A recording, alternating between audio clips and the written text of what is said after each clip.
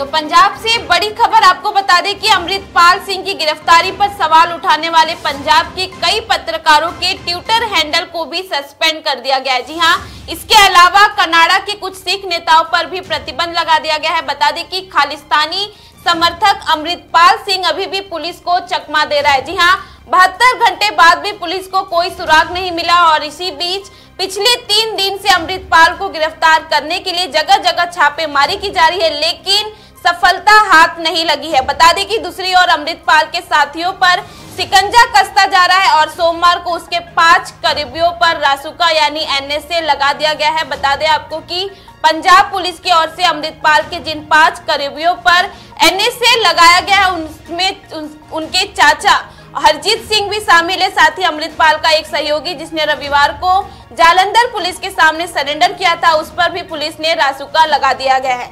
बता दें कि आपको हरजीत सिंह के पास से 32 बोर की एक लाइसेंसी, पिस्टल और एक लाख रुपए से अधिक की नकदी बरामद हुई है और लगातार अमृतपाल सिंह की खोजबीन की जा रही है।